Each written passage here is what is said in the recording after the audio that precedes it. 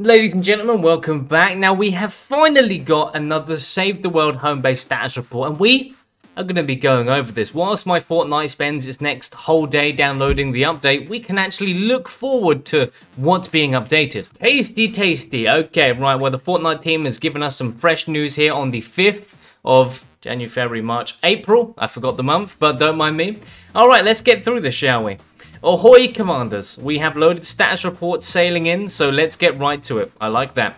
Home base status report, initiate. Alright, so we are seeing a return of the Scurvy Shoals. So Scurvy Shoals returns with a new modifier on April 5th, 8pm ET. I don't know what that is, Eastern Time. The Scurvy Shoals is back along with the Treasure Filled Pirate Llamas.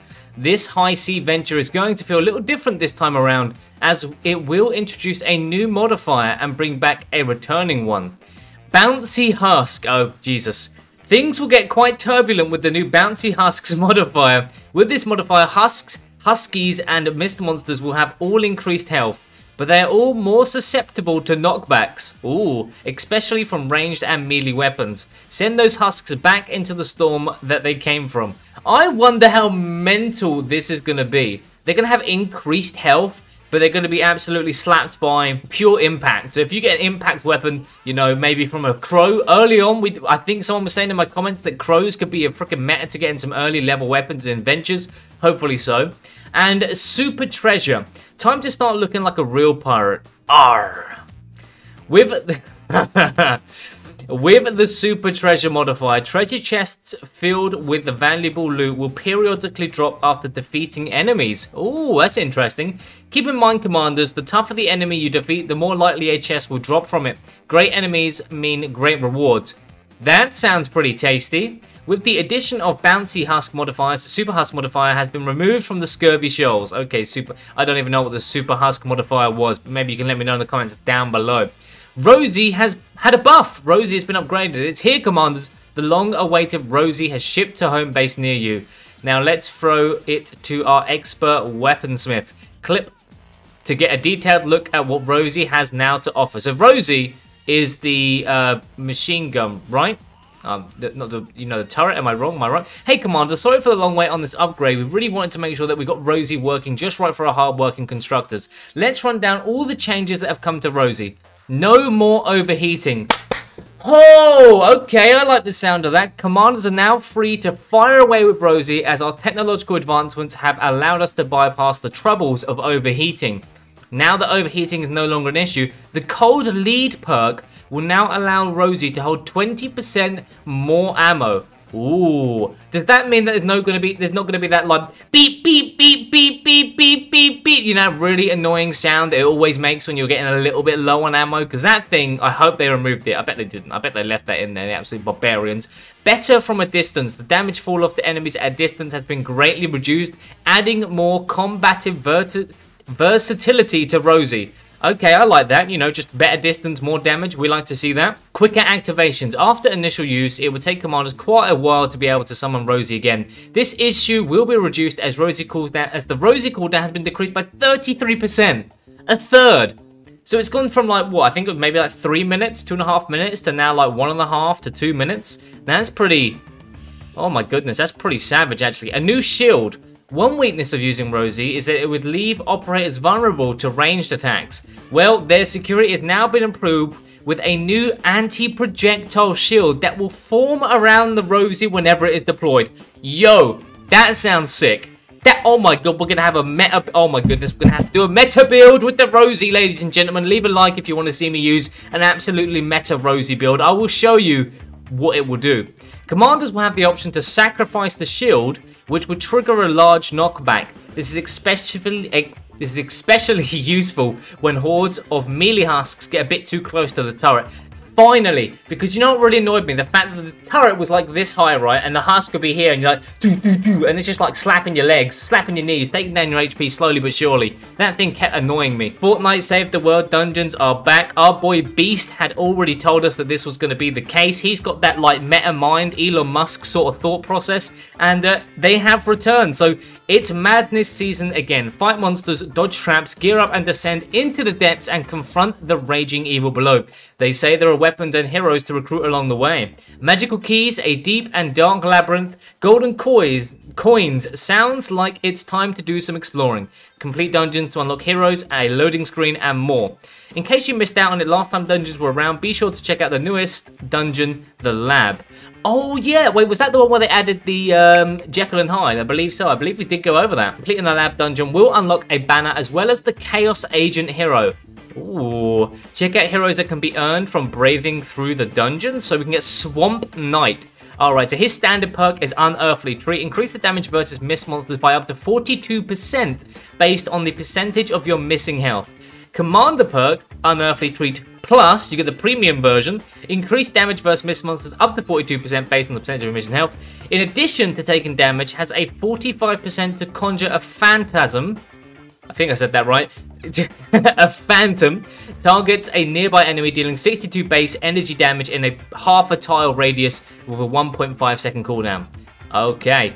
Fortnite saved the world, Mer Monster Ken, Mer Monster Ken, out of the lake and into the fray. Okay. Standard perk from the depth. Increase melee damage by 44% based on missing health, and then its Commander Perk Pro increases the melee, melee damage 44% based on your missing health. Additionally, melee heavy attack eliminations have a 60% chance to conjure a phasm, a phantasm, an orgasm, whatever you want to call it. Targets a nearby enemy dealing 62 base energy damage in half a tile radius with a 1.5 cooldown. Alright, and here we go, Chaos Agent. Okay, who is this geezer? My greatest strength, I strive in chaotic environments. Now that is a good strength to have. When you can be calm when stuff is chaotic, you're you're the one that wants to take charge. Alright, standard perk is Quick Fingers. Whenever you use any ability, Quick Fingers will reload your equipped weapon, if it can be reloaded. Commander perk plus is whenever you use an ability, you reload the weapon, and when you reload a weapon this way, you have a chance to summon a Phantasm based on how empty the clip was with a cap of 80%. April 5th, start plundering in Yarrr's questline. The Yarrr questline is back, ladies and gents.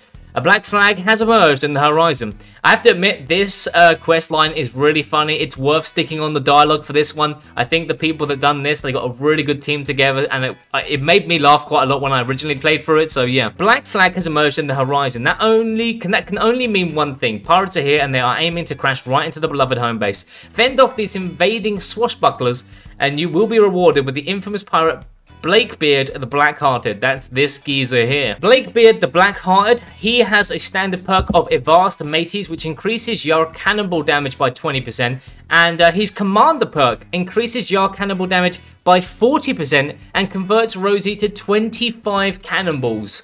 Oh, mamacita, do we want to see me use a Rosie with the Blakebeard? With that additional 40%, the damage fall off fix and just absolute no cooldown, no burnout is just going to be, oh, this is filthy. This is filthy. What a beautiful sight to see.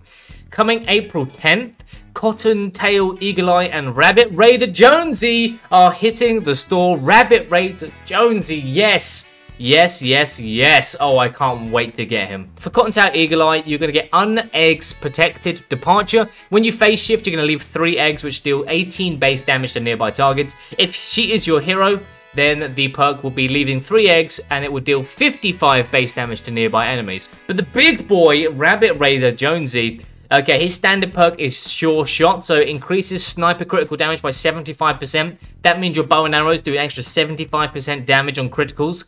And then the Commander perk increases the sniper critical damage by 225%. He's a must-have. You must get this hero. Get him. Use your gold, get Rabbit Raider Jonesy. April 10th, you've got 5 days to save up, so go for it. April the 17th, Dashing Hare Ken and the Egg Launcher are going to spring into the event store. The Egg Launcher is coming back, ladies and gentlemen. Alright, so Dashing Hare Ken's standard perk is Kunai Storm throw 3 Egg Bombs, which deal 37 base damage. His prime, if you use him as a commander, is 3 Egg Bombs, but deal 111 base damage to nearby enemies. The Fortnite Easter World Fortnite Easter World. Fortnite saved the world Easter egg launcher. The colorful launcher lobs eggs at the husks that explode on contact. Strategically place the eggs to create festive landmines. A maximum of six eggs can be festive, uh, can be active at once. Oh my goodness, the, the absolute speaking ability here, ladies and gentlemen.